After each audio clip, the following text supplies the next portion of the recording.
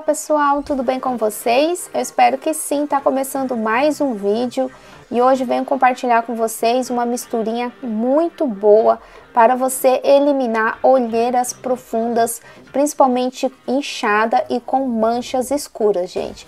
É uma dica bem simples, bem fácil, bem econômica e que vai te trazer grandes resultados. Está chegando aqui nesse canal, sejam todos bem-vindos, meninas e meninos.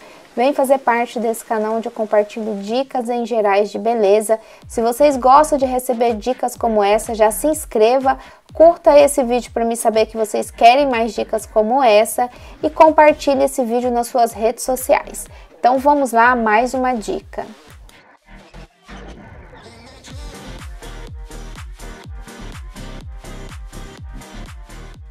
A dica de hoje é você utilizar essas duas pomadinhas, fazendo uma pomada só, uma mistura com a composição da hipogloss de amêndoas e a composição da irudoide. Gente, essas duas pomadas vai te trazer um grande resultado nas suas olheiras, vai diminuir aquelas olheiras profundas, aquela mancha escura e também vai melhorar o aspecto da, do pezinho de galinha na região. Então é bem simples, é só você colocar todos os dias, gente, uma quantidade pequena que você vai mesclar, não pode fazer grande quantidade, você tem que fazer a misturinha já na hora da aplicação para não oxidar. Então você vai colocar mais ou menos um grãozinho de feijão de cada um, vai misturar com o dedo mesmo, tá?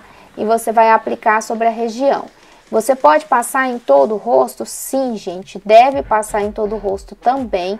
Assim você vai estar prevenindo rugas, manchas e marca de expressões e até mesmo a flacidez da sua pele. Quando acordar, lave tudo e retire e faça uma rotina diária para você ter aí um resultado ainda mais satisfatório. Bom, pessoal, eu espero muito que vocês tenham gostado dessa dica. Se vocês gostaram dessa dica e quer mais dicas como essa, bem rapidinha, se inscreva aqui no canal, compartilhe e deixe aqui a sua sugestão de vídeo para mim também. Muito obrigada pela sua presença, fiquem todos com Deus, meninas e meninos, e até o próximo vídeo. Tchau, tchau!